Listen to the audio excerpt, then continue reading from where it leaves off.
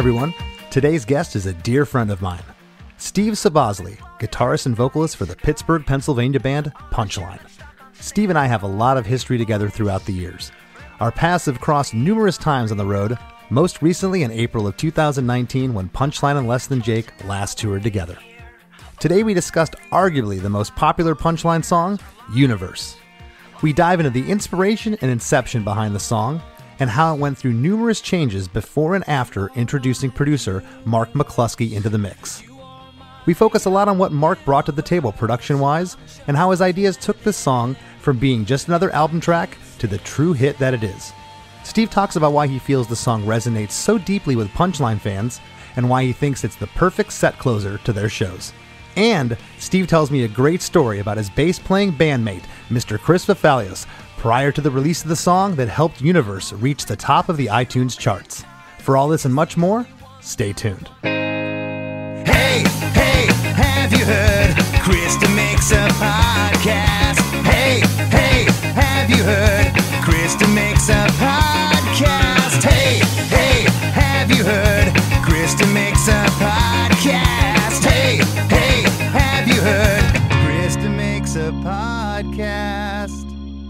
For our listeners, uh, Steve uh, plays in Punchline with the show's producer, Chris Fafalios, uh, bass player extraordinaire for Punchline, and uh, been wanting to get you on for some time, so this is very cool. Awesome, man. Yeah. Me and Chris, we started Punchline when we were in high school, and I can't believe we're still doing it today. I know you're only 25. You know, it seems like it's been longer than that. um, I, I will say, I was trying to think. I want to say, gosh, 2000, 2003 Action came out, right? 2004. 2004. Okay. So it was around 03, 04 that I first uh, was hearing this buzz of this band uh, called Punchline from Pittsburgh, Pennsylvania, that uh, got signed not too long after uh, to Fueled by Ramen. And uh, it was such a, an exciting time. And we. We always loved you guys, you know that, and uh, you will. You're, you're still kids to me, which is weird because you're not kids anymore.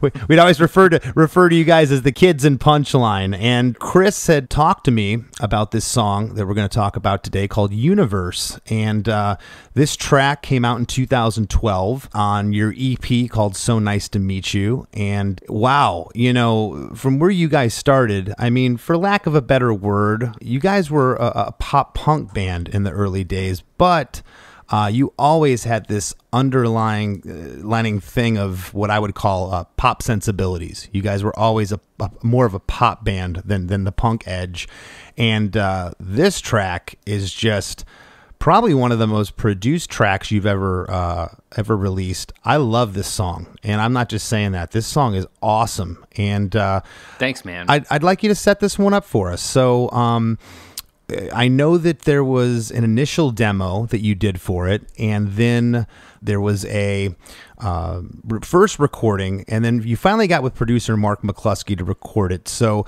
uh, take us through a little bit of the evolution of the song. When did you first write it? This was first written in probably 2011. I want to say I remember that it was cold. The previous Punchline record was called Delightfully Pleased, which was more of a what I would call like a return to our pop punk roots. Um, as far as the songs go on that album, there were more of the songs that we wrote that we liked. And then after doing that album, you know, I started to think, yeah, but what if we had a song that could, you know, transcend the the masses as every songwriter would eventually like to do one day. Sure. And I remember I was in I was at my friend's house in Brooklyn, my friend Eric. He's a close close buddy of ours. And he was going to the gym. I had been had been staying with him and he said, "I'm going to the gym. Write something, you know, write write a banger before I get back." So I had had an hour and I sat there on his couch and I played guitar and I came up with uh, the uh, the basics of the of the chorus. So basically, like the universe concept and hook, if you will. And then you know what's funny? Some songs pour right out when you sit down and write them, and some songs take so much work. And in my in my past, I feel like the songs that pour themselves out and are just handed to you always turn out to be the best. But this song was actually one that we really had to to work for and push to get it to get it just right. And I, I really appreciate that about this song. I came back to Pittsburgh and we had been writing to go record an EP with this fella, Mark McCluskey, who this was the first time that we worked with him. And since then, we've worked with him on most of our stuff that we've done over the last almost decade. I love I love Mark, and so we we got in a room together with the band and fleshed out the rest of the song, and then we went and we demoed it. And I think I, I did a demo beforehand that was just me, and it was like a it was like a little more like dance poppy of a, of a demo that I did with my friend Harrison. You are my.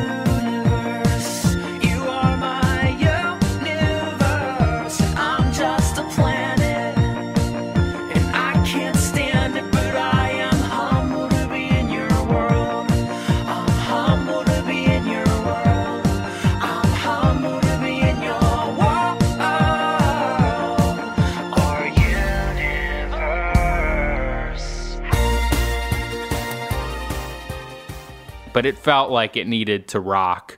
So we we went and we recorded another demo, like a full band demo at uh, Innovation Studios in Steubenville, Ohio, where we had recorded "Delightfully Pleased." And it's funny how many demos there are for this song. I don't think we've ever had so many demos and alternate versions of songs as we do for for this song. And it felt so good to play this as a as a rock song. It's that nice like four on the floor beat they they call it. Sure. Oh.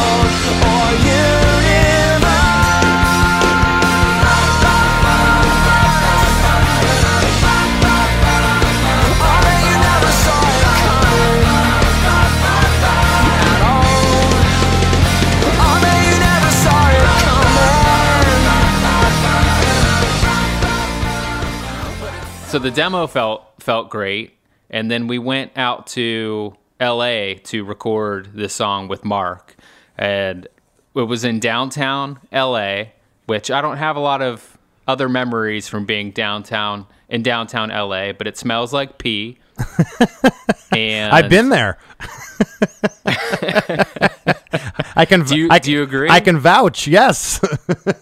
Nice. So we recorded this at this this studio in uh, in Mark's house. We did the drums at Grandmaster right. I right. I have that in my notes. Real quick, I'd like to say that uh, we recorded our, Yeah. our the Less Than Jake recorded Borders and Bounties at, at Grandmaster Studios. So that's really cool. Oh, nice. Yeah. Well, what a beautiful studio. Yeah, I remember seeing on the walls that I think Tragic Kingdom was recorded there, and I believe that Foo Fighters' "Color and the Shape" was recorded there. Dave recorded the drums there in that garage to get that big sound. Yeah, yeah, and Nice. and that was another selling point while we while we wanted to go record there. But uh, so then you you did the you tracked the drums at Grandmaster, then you went back to Mark's. Now does he have a studio in his house? Yeah, it was a like a loft studio, and he had two little two little dogs that were Chihuahuas, and we started putting this song down. And he he said, you know, this song's called Universe. Let's make it sound spacey. and what when you listen to, I mean, it's a really common sense thing. You know, make a song that's kind of about space sound like you're in you're in space. Well, well, hol- well, in. hold on. Another nod to downtown LA. Well, hold on. I got to stop you there, Steve, because you're you're, you're you're you're saying everything that I want to say. I have the word spacey written in my notes here. Okay, everything you're saying, I'm, I I want to get to. So that that's funny that you. That's why I laughed a moment ago when you said spacey because that's uh that perfectly sums up this song and, and it goes along with the title of Universe. I think that's awesome. nice. Heck yeah. So this is where the work comes in on this song because up until this point, it it was it was it was a walk in the park. And Mark said, "I got to be honest. the lyrics that you guys have for the verses of this song are weak. And I think that you should revise them to be a little more direct. And this was a really big a really big turning point, I feel like, in punchline lyric writing and lyric writing just for, you know, us as individual songwriters, which was kind of, kind of the the aha moment where we realized our lyrics can be a little too encoded sometimes and a, and a little less story like which I think I went a little too personally. I think I became a little bit too um, be be very clear with what you're singing about and now years later I feel like I've dialed that back and just really appreciate songs that are not more not more vague but more like cryptic lyrics. So I think I've found a balance for that more recently. But Mark was like, why not make this a story about um, you know, that that revolves around like has a little more space context I love the imagery in this. I love, and, and we're going to get into the lyrics in a moment, but I do want to say, uh, you know, the the song, and I want to again, I want to get to Mark McCluskey too, because I just feel like the production on this, and and and something you said earlier, you mentioned that that some songs, the best songs, just come right out, and that's been a running theme on the show. M- you know, most of the artists I've had on have said, "Hey, this song was written in five minutes."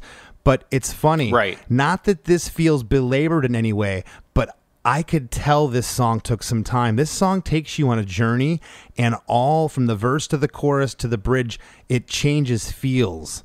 It, it was it's not it's not linear at all. And I heard your demos that you sent, your original demo and the other one, and they had more of a linear feel. They were more of just like the, this song, Right. And this takes you on an adventure, and I think that's really cool that this was uh, labored over, but at the same time, it doesn't f- it doesn't feel like there's too much here. It doesn't feel overproduced. It doesn't feel like it's over the top for me. It just it, it works all together in context. It's great.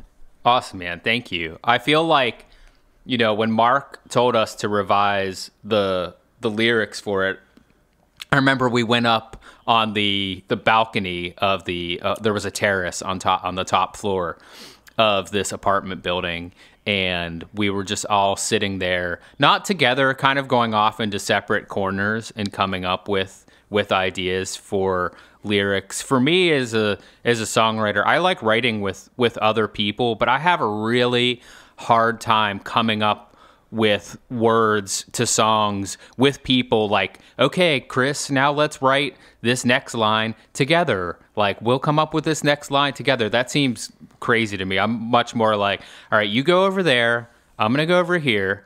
You come up with the best you've got. Let's meet back here in like 15 minutes and we'll see you know who's got the goods. So we did a whole lot of a whole lot of that and and and and that's really that that whole wait until you know that you have it method of songwriting really has has stuck with me. I feel like now nowadays I if you know a part doesn't feel right, you just got to think about it longer. You got to find the thing that makes it right. It's like balancing a checkbook or solving Yeah, a math problem. Well, and and some sometimes you have to step away from it too. I feel. Totally. You know, totally. you have to- totally. But that's the best feeling when you finally figure it out in, in your head. You see, okay, it goes from this part into this next part, and it feels so natural and feels like, you know, you found out how the song goes. I just love that. And something else, you know, before we get into to lyrics, just about the music that I really noticed with this song is that when we play this song live, something about the arrangement, you know, what the drums are playing, what the bass is doing, what the guitar what the one guitar is doing, what the other guitar is doing, how all of these things come together was uh, another aha moment where I realized how I mean obviously arrangement is important and where everyone is playing what on their on their instruments but it was an aha moment where I where I realized wow when you do this right the song just connects with people more. And and you can play you can play one song live and you can play another song and the song that is arranged better is going to sound like your amps sound better. It'll make you sound like you're better guitar players. It'll make you sound make it sound like there's a better sound engineer and I just I, I I love that. Yeah, no, I can I can fully relate to that. It's funny how you you'll sometimes record songs and you'll be convinced as a band this is the greatest thing we've ever done, and you go play it and it falls flat in a live setting, and you you can't figure out why. And then you'll play a Right. song like Universe, and it's just it has everybody dancing and everybody moving. Um, you know, and a lot of that, and there is kind of a science behind hit songs. They have that uh, right BPM to them, beats per minute, and uh, it just uh, there's kind of a formula to it. Uh, And at the same time, I don't think there's really a formula to this song. It's an interesting uh, arrangement that uh, I'd like to get into. And before I do, though, I would like to ask: Was this song written about a love interest? Was was it, or is it just a story that uh, you kind of made up? it was written about a I don't know if I would say, you know, retroactively, I don't know if I would say a love interest at the time. I think I had hoped it was a was a love interest. It's a whole other, you know, cra- crazy crazy story, but I had had gone through a a breakup, which was a nasty breakup, which all worked out in the end because I just married her. And so I pivoted upon this breakup. I pivoted to this uh, this love interest that was a girl from California who I had this phone relationship with, but I had never met her. So that's kind of what the song is about. It's like you're out in space all alone and you can only talk to this person on the phone. Gotcha. Okay. So the song opens up, and it's interesting.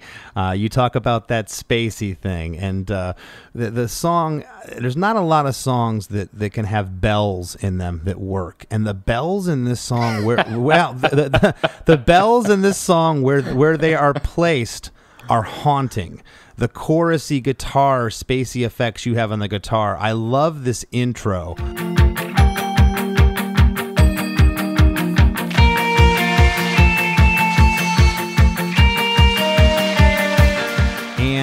You know i have verse one here but this is this is almost like its own setup here this intro.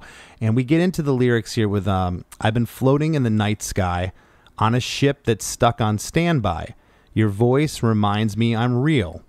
I made a choice and now i wait here orbiting the earth for five long years. Our lives like magnetic fields so was this something that you had originally, or just something that was bore out of the sessions with Mark? How he was, you said he was pushing you for lyrical uh, imagery. That's right. This was this was conceived on the uh, the rooftop at his at his apartment. Cool. We had completely scrapped. I don't think we really kept anything from the original from the original demo in the in the verses. Maybe in the bridge though. Well, and immediately when the song starts again, it has just these the, these spacey guitars, and then the second half of the verse, when it goes to "I made a choice and I wait here" line, this sample like snare drum hits come in. I made a choice and now I wait here, orbiting the earth for five long and it's very you know not what i would say rock. It's a very pop pop sound and it just works. And then you're into the first chorus which the band doesn't all of a sudden come in and now it's completely broke down there's no drums uh, until the very buildup of the chorus. The bells are there, though. The bells come back for the first chorus, uh, which again, they're just perfectly placed. And they just, you know, it was funny after I listened to the song a couple times, I went back and I, I said, I wonder if the if the bells weren't there, this song would not make me feel the same. Whose idea was it to incorporate the bells? Was that something a production that, that Mark wanted to do, or some uh, someone in the band suggested? I I'm guessing that it was Mark, but it's funny that you bring that up about the bells because here at home when I'm recording, I have a Logic Pro template that I use for my sessions, and every template has has a bells track already there, locked and loaded, baby.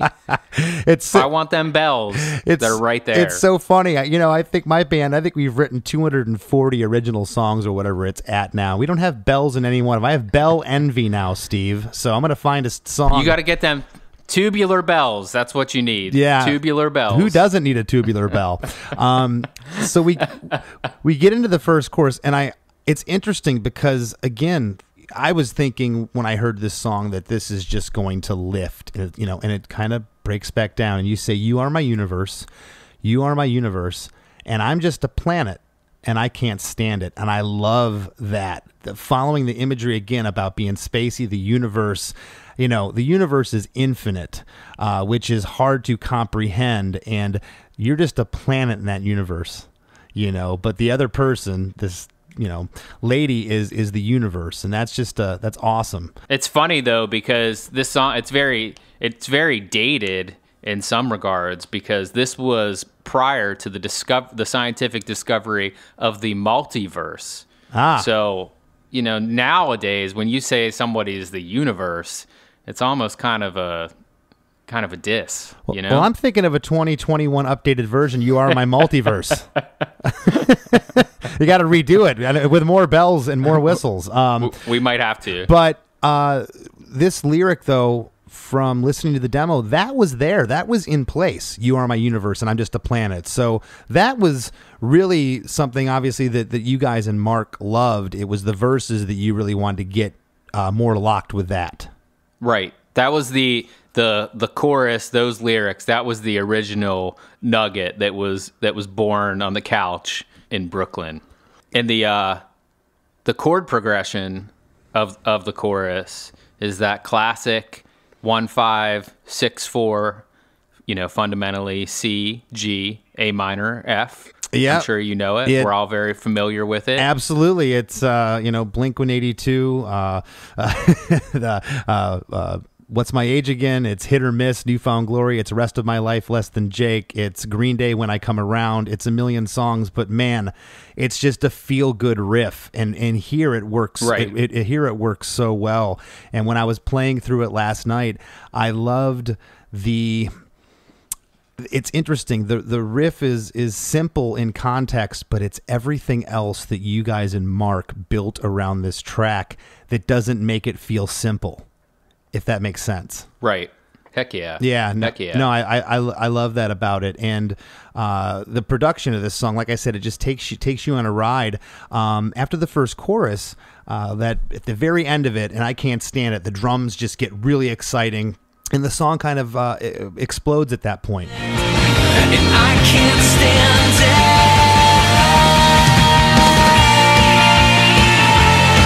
and you got the spacey guitars and, and you have a reintro of, of what the top was but now it's the full the full band's in.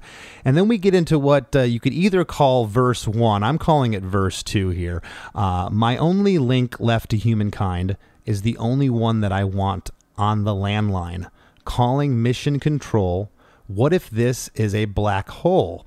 Uh, again the the imagery there of space. Black hole mission The- control. I, I was I was reviewing the uh, the the demos for this last night, and the original black hole line was "suck me in like a black hole," which to me like made me almost spit my drink out when I heard that. I just thought that was really was really funny. Yeah. Okay. So so was that was that something that the the guys or Mark wanted changed, or you you realized that that wasn't the right? that You wanted to keep it a little more. Uh, you know, what if this is a, I I say a little more uh, vague, not as descriptive. Right, right, right. Yeah, black hole was one of the original space themed words that was was in the was in the song, and then we kept we kept the black hole word, but we changed the phrasing on it, and you know I'm really happy that we did because "suck me in like a black hole" just feels feels like a creepy thing to say. Before we go any further, I do want to mention, and you know, as uh, journalists out there, we always get pegged, you know, like Less Than Jake was a, a ska punk thing and, and this and that. But, you know, you have to, you know, kind of give examples of other bands to but this song man there's just so many things i love about it. First of all it's got that 80s feel and i'm a sucker for an 80s pop song a complete sucker. Uh, but i hear elements in here a little bit of just your vocal delivery especially at the top of uh, death cab for cutie. I hear some jimmy eat world in here like from the futures record on from their career. Um, Ooh. what were some of were those some of the influences with this or was just this something that that, that came out? Or, or were you consciously thinking of any of that I mean, Death Cab Jimmy World was probably my favorite band from 2000 to 2007. And Death Cab was probably my favorite band from 2008 to 2014 or something Uh, okay, like so, that. so I'm on, so, I'm on to something. you know, I'm on to something here. there. I'm on to something here. Okay. for sure. Okay, for sure. And I yeah. and, and again, I don't mean that in any way as like it's a, a rip of those bands or anything. I just hear it in there. I hear No. I hear a little bit of U2 in here, uh, uh, just production wise, and that's something I want to talk about real quick in terms of production.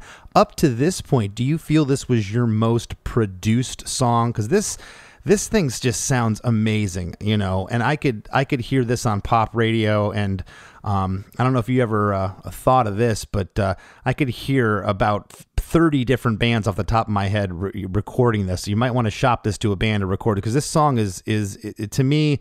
Uh, it, to me, it's a hit. It's it's it's amazing. Thanks, man. Thank you. Uh, yeah, if we know, if anybody out there wants to show this song to, you know, a famous pop artist to recut it, please, please do.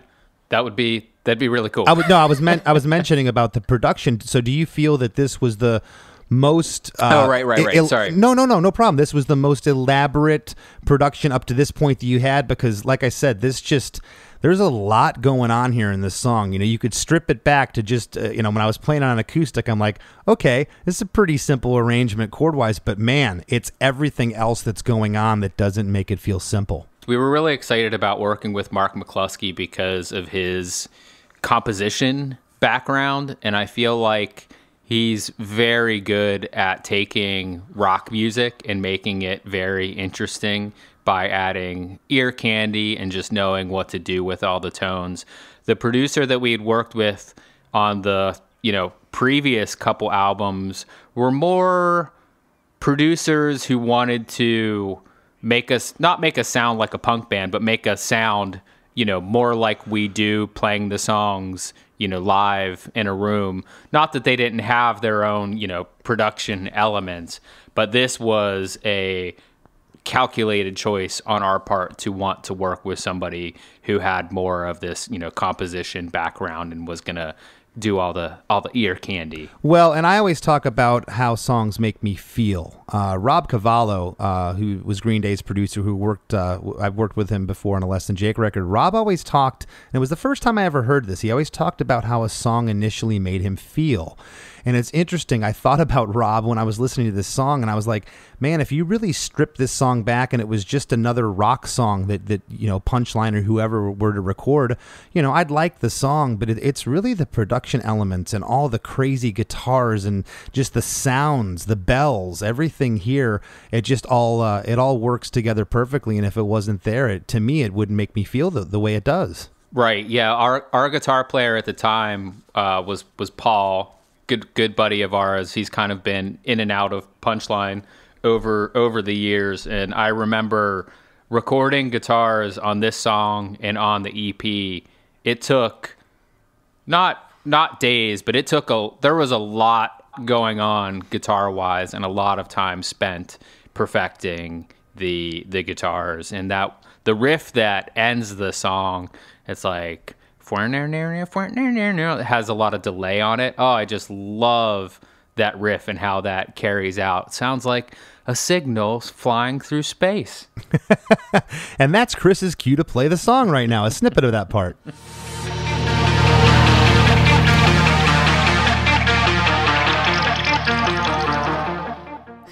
Perfect. God, he's good. Um, Oh, it's funny. I sent Chris. I, I, I sent you guys a folder that has the. I'll, I like track down the the the demos and various recordings for the song, but I did not put the remix. There's also a remix for this song.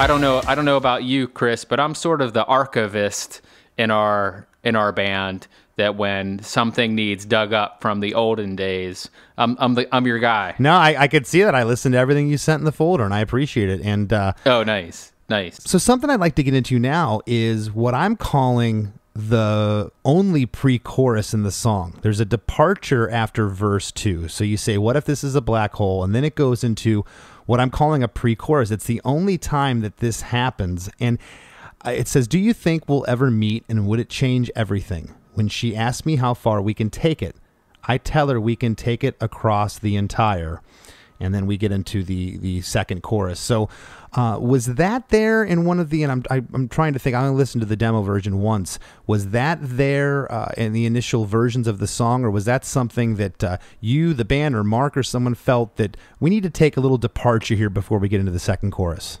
I think that was there originally, which makes sense because older punchline songs, verse two is different from verse one. You know, there's more sharp left turns, which I still like. I still like that. I think back then, you know, it was kind of like, hey, you got a part idea? Let's put it in. Oh, you got another part? Yeah, let's tack it on. And so that yeah, the second verse was was always that way. I'm I haven't really thought about the structure of this song in a long time, but you're right. It's really it's really strange, and we're getting there. But it I got to give some foreshadowing because I don't want to catch anybody off guard. This song ends with a verse. Oh no, no, we're we're gonna get there. I got it in the notes.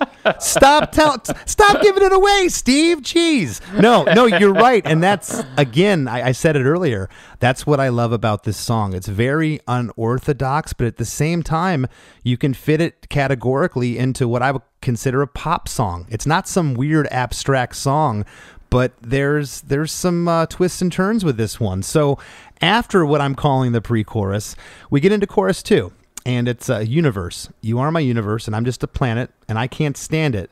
But I am humble to be in your, and then it doubles, and it says it says it again. Uh, the double chorus. Uh, this is all a full band here. Uh, the second half of it, it's the same lyric as the first, but the second half, the bells come back. The bells weren't there in the first half. And again, that's just a production thing. I know I keep talking about them, but it's just it's so cool. It, and you and I didn't even notice it till I went back and listened to the song like two, the second or third or fourth time. I'm like, wait a second, the bells aren't there the first half of the course, and it's just those little things of ear candy that make this song special. Do you remember any of that talk when when you were getting the mixes back? Were, were the bells there or not there, and, and and some of the production stuff? And you're saying, wait, why aren't they there? Or do you do you remember that at all? Well, I I just know that the the guitar hook, the mm-hmm. you know, that was a big part of the of the song going in. So I think we just wanted to keep reminding people of that part and tucking that that melody in there, which I'm guessing that that's that's what you're saying sounds like a little U2-ish. You know, it's not that it sounds like Bono, but we got a little bit of the edge in this song. No, you, you you do, and the and just the, the the production reminds me of Steve Lillywhite's production. Steve that did all the U2 stuff. I mean, he's just he's fantastic in making stuff sound atmospheric. Uh, he did that record, uh, Kings and Queens, by Jared Leto's uh, band. Um, why am I blanking on the name? But uh, 30 Seconds to Mars. Thank you. 30 Seconds to Mars. Uh, that song, Kings and Queens, is just massive. And Steve did that song. And that, uh, the, again, when I first heard this track, uh, Universe, I, I immediately thought of, of U2 production wise with all the spacey guitar sounds. And again, I've always been a, been a sucker for, for that, uh, that type of stuff. We get into the bridge now, and man, I love this bridge. I love uh, what uh, what Corey's playing here on the drums. It's so exciting.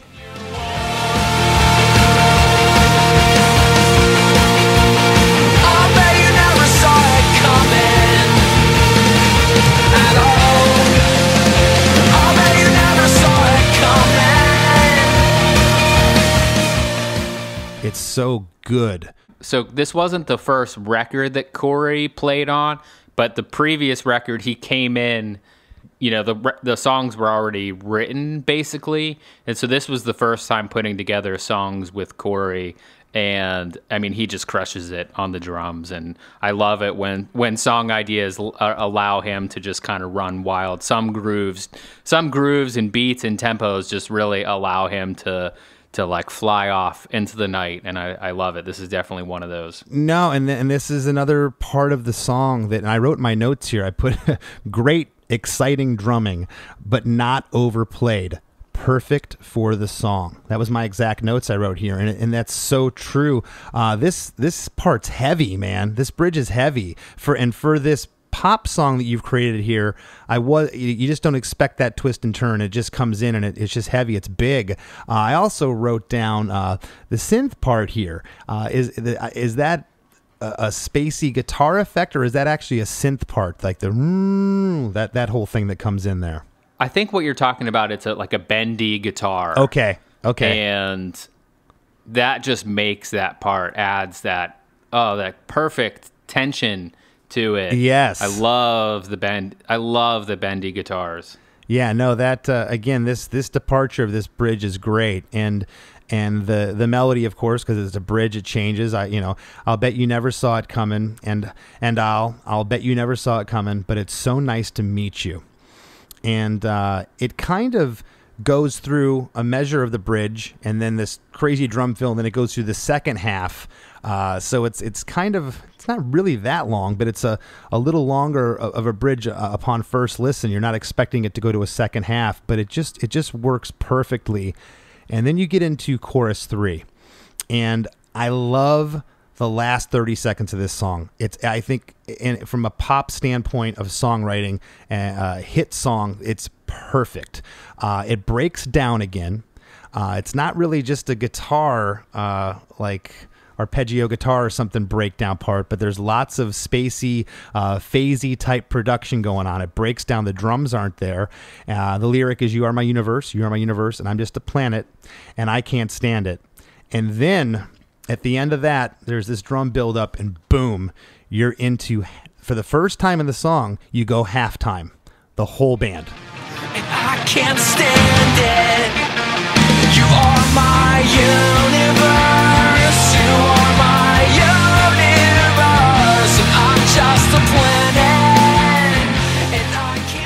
And the drums are breaking down. There's the ride cymbal going.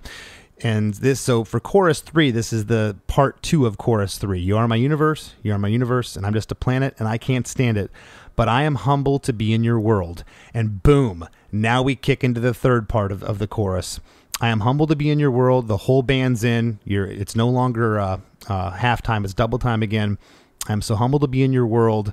Then, what you had mentioned a moment ago, it goes back to the first verse, which is brilliant. And it just wraps up the song. Now the bells are back in. The whole production, the the hook guitar from the beginning of this song is in. Uh, and again, you reiterate, I've been floating in the night sky on a ship that's stuck on standby. Your voice reminds me I'm real. Your universe. And uh, you end on that E flat, that suspense chord that gets me every time. I love it.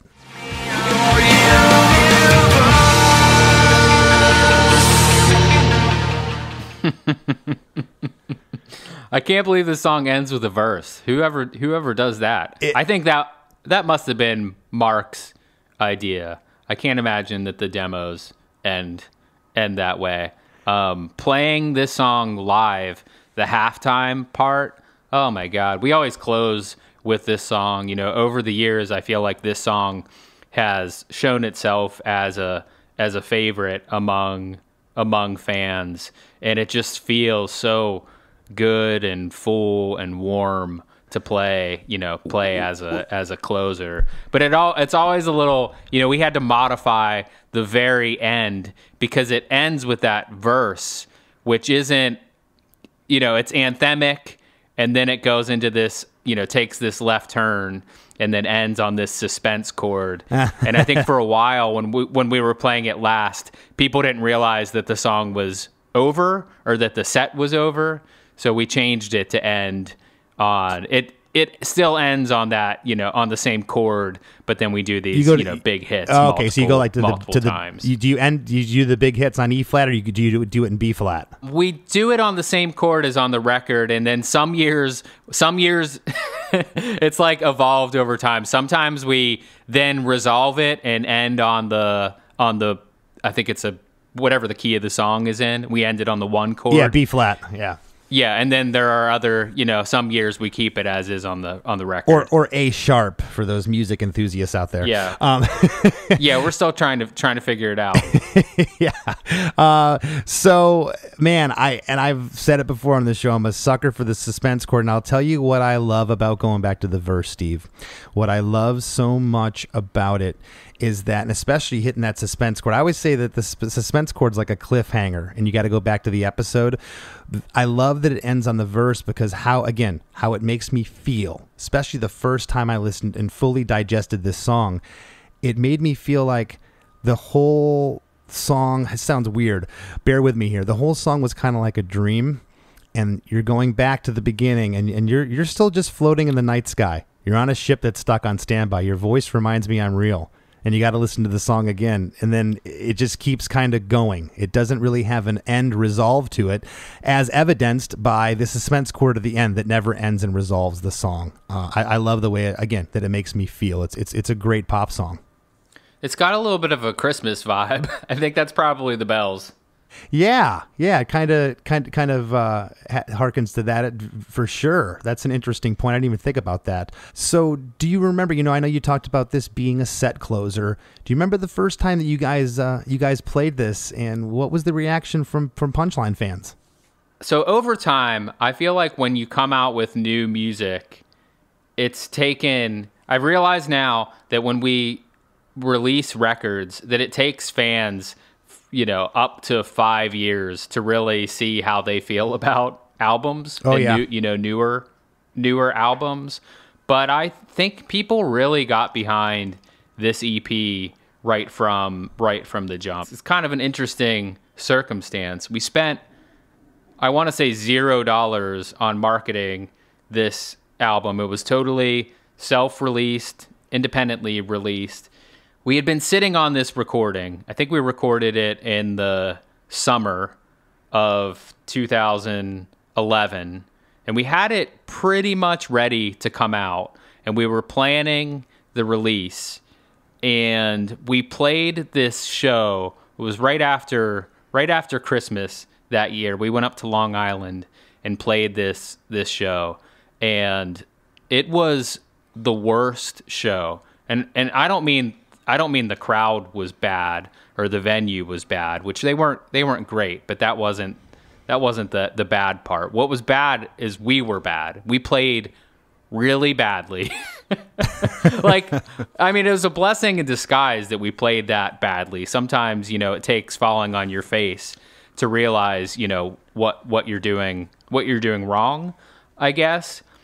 But that drive home after that show, we beat ourselves up in, in such a in such a good way and really really came together and said, you know what, let's let's release this EP. Let's get this thing together and release this, you know, like not tomorrow, but you know, in the next couple days. It was like decided within a week that it was going to come out a week a week later, which is awesome that you can do that in you know in this day and age and i never expected the reception that we had that we had from it. So we put together we scheduled the the ep to come out you know a week after that. It was like within the first couple days of, of january. I think it came out january 4th of of 2012 and chris that day the day that the EP came out, he he wrote this note and took a picture of it.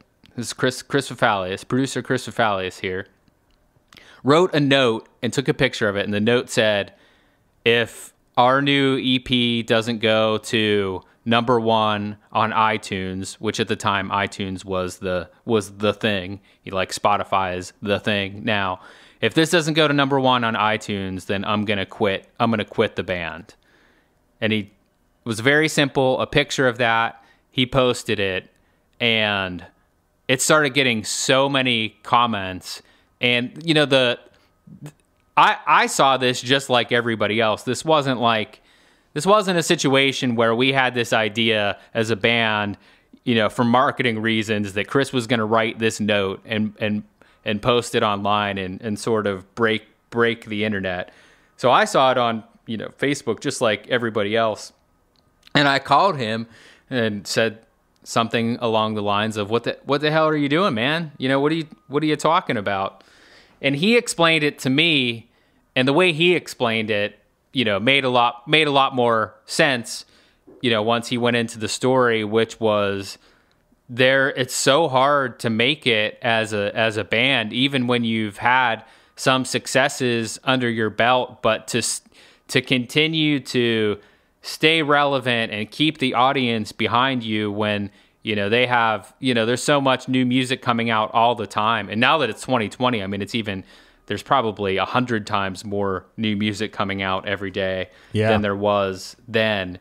And the message behind his his note was hey if you want us punchline this independent band to keep going you gotta you know we, we kind of need your support to keep going and it really it was a really polarizing note in that the comments got this you know a discussion going about you know that sentiment behind it. And some people were saying you know this is crazy this is a gimmick. And other people said you know you know he's right. Like let's support punchline. We want them to keep going. And when the song or when the ep came out our fans got so behind it that it got the ep to uh, it wasn't number one on iTunes, but it was number one on the iTunes rock charts, and we cracked the top 10 overall. And I have this screenshot of the iTunes rock charts where it's Punchline number one, The Beatles number two, Metallica number th- number three. so we were there for we didn't we didn't hold on that long. It was three days, I think, that we were number one on there. But it was so freaking cool, and it was a totally punk rock DIY effort, and I just fell in love with our with our fans even more. Oh my god, they're they're they're the best. Yeah, no, that that's awesome. And, and ultimatum or not, it's it's a great story. It brought and unified your fans, and the proofs in the pudding. There's over uh, 1.3 million streams on Spotify for this song, and it's a great song, and people uh, people need to hear it. So uh, check out Universe by Punchline, and we're gonna check out Universe by Punchline right now because Steve has decided to share a strings version of Universe that he recorded, which actually features Katie Morrow from the band String Machine, which was the first ever band you might not know uh, on our podcast. So without any further ado, here it is the strings version of Universe.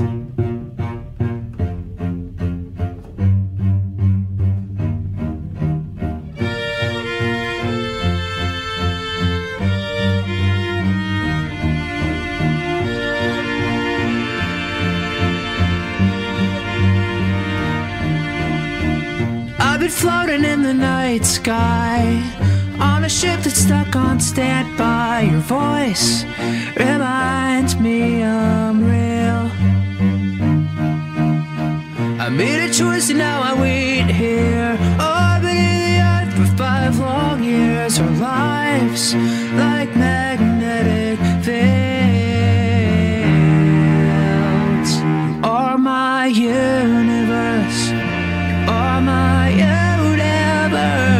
I'm just a planet, and I can't stand it. Yeah.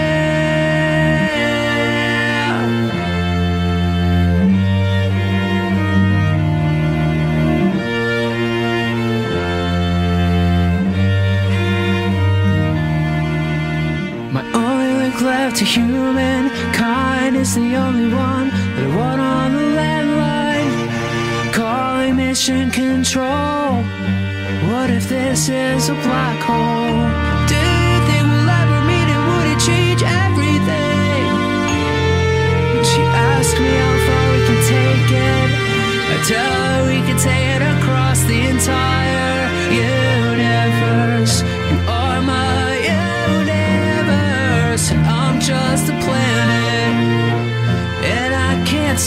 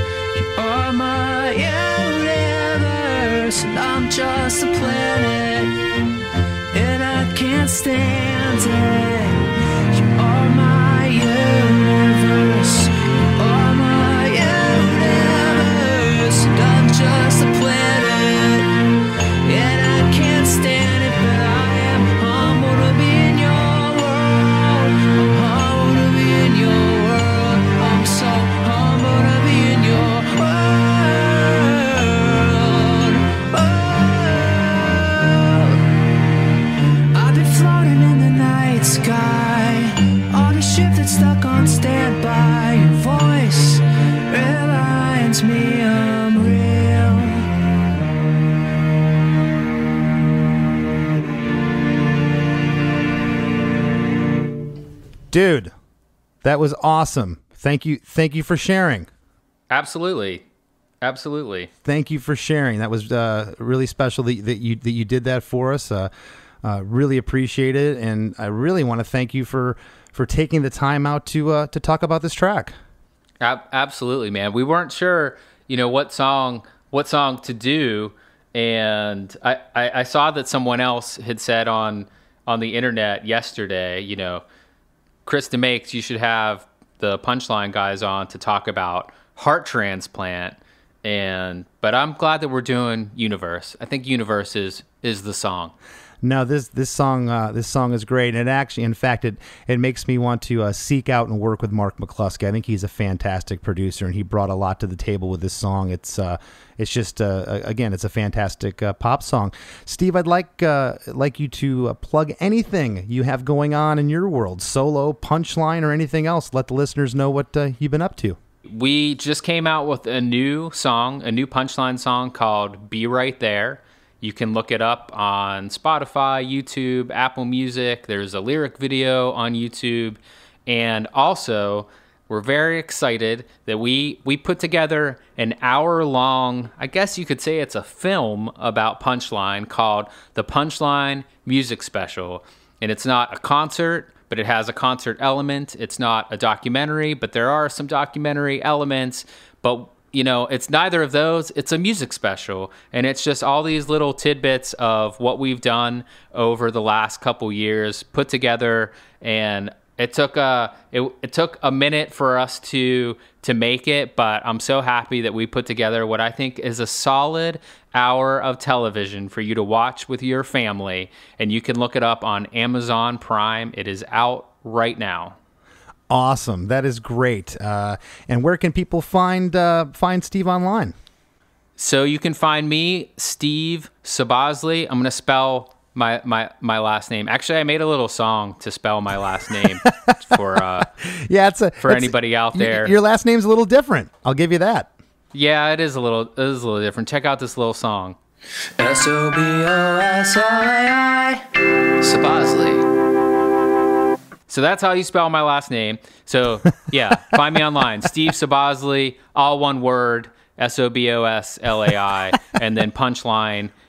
It's uh, all our handles are Punch Lion L I O N dot com, um, and we look forward to uh, to hearing from you, everybody. Rock and roll. Well, hey man, thank you so much, and uh, have a great rest of your day. Yo, thanks, Chris. I really appreciate all the love and support you've given to Punchline over the years. You've absolutely been a, a mentor to us, and thank you for that.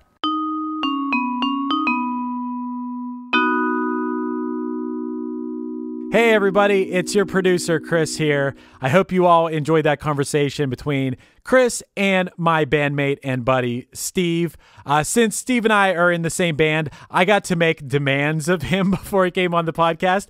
And one of my demands was Steve, if you're coming on the podcast, you have to do your own version of the Chris DeMakes a Podcast theme song. So uh, here it is.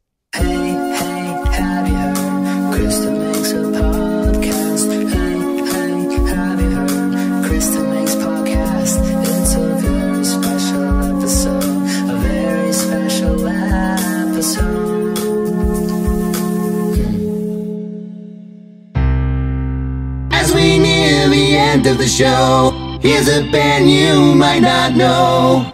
Welcome to this week's Band You Might Not Know. If you'd like your band to be considered for Chris DeMakes a Podcast, all you have to do is submit your song and bio to bandyoumightnotknow at gmail.com. This week's featured band is Vipers from Schittsburg, Pennsylvania. They play punk rock and they despise the system. They've unfortunately been banned from performing live, but you can still listen to their album Spread the Poison on all streaming sites. Members of the band are Piss Chastise on vocals, Dink Nerdner on bass, P Nuts on drums, and John McNichols on guitar. Here's a snippet of their song, PMFA.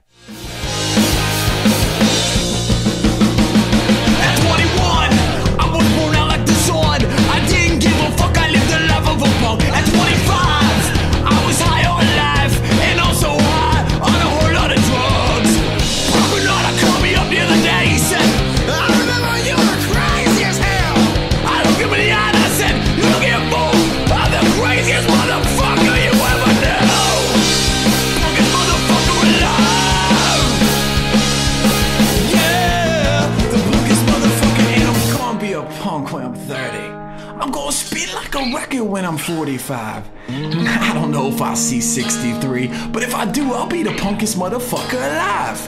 Yeah, the punkest motherfucker. Yeah, the punkest motherfucker alive.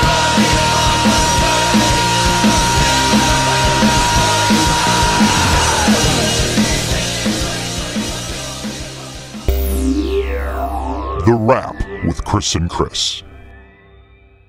So, Chris, I really know that you are the host with the absolute most because I just heard you break down a song by my band, and that was such a cool and strange and awesome experience. And now I want you to do that for every Punchline song. Will you just do it for, for entire catalog? We got like a couple hundred songs. You could just go through all of them if that's cool. And I got to tell you, uh, it, it was so hard to resist talking shit about you. I just, you know, it took every every bit of being. No, that was that was a lot of fun, Chris. Uh, that I I meant it. The song is great. That song is awesome. Well, I really appreciate that, man. I have a lot of fond memories, a lot that Steve talked about in this episode. I remember being up on that rooftop in LA and going off in our separate parts of the roof and brainstorming lyrics and coming back to each other. That's a fond memory. And one of the fondest memories that I've ever had in Punchline was the reception from our fans to this song and this EP. That was like a really amazing time uh, in the history of our band.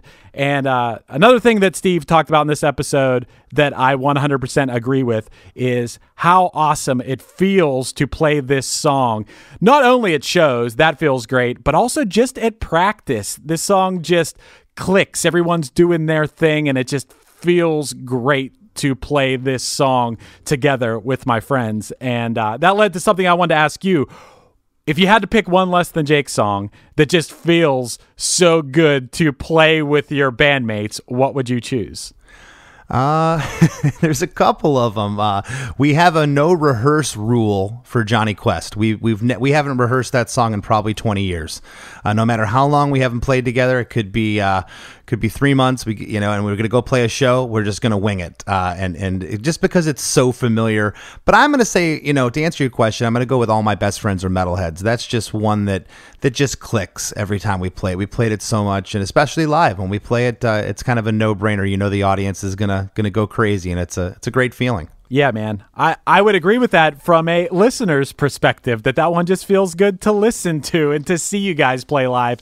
So, good answer. and, uh, you know, otherwise in this episode, you know, Steve's my bandmate. So I, I think he covered enough about Universe for for the both of us, for the entire band. But uh, I would just say one more time if anyone out there hasn't heard Punchline before, then I would say a good place to start would be the new song that we just released. It's called Be Right There.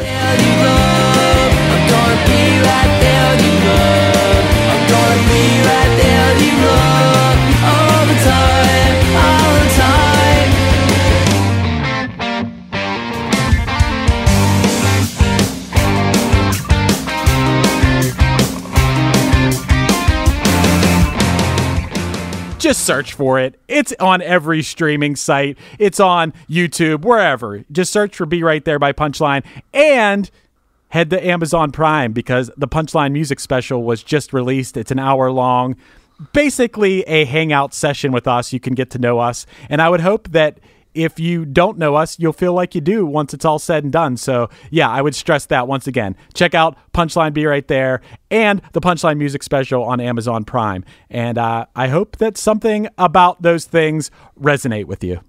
Well, and speaking of resonating, Chris, uh, I want to thank each and every one of our listeners for supporting this month's fundraiser. Uh, you can check it out at ChrisDeMakesADifference.com. Yeah, man, for sure. Uh, hope for the day. It's a great cause, man. Yeah, Hope for the Day uh, promotes uh, suicide prevention and mental health. Uh, uh, you know, together we can explore the intersections between music and mental health, uh, and we can normalize talking about mental health and remember that it's okay not to be okay. So please, if you can, go to ChrisDeMakesADifference.com uh, to donate. Uh, they're, they're a wonderful cause, and they're who we're featuring for the whole month of November. So if you could stop over there, ChrisDeMakesADifference.com, and give whatever you have, we'd, we'd greatly appreciate it. Yes, you should absolutely go to ChrisDeMakesADifference.com and you should also go to LessThanJake.com right now. Chris, tell them why. Chris, you are the segue master. I got to give it to you. Every yeah, man. week, every week, you just, you just, you know the right time to do that. Thank do you. my best. Yes, yes. Please go to lessthanjake.com where you will find a direct ticket link to our live stream, Late Night with Less Than Jake, our first ever live stream uh, that will air live December 11th at 6 p.m. Eastern Standard Time.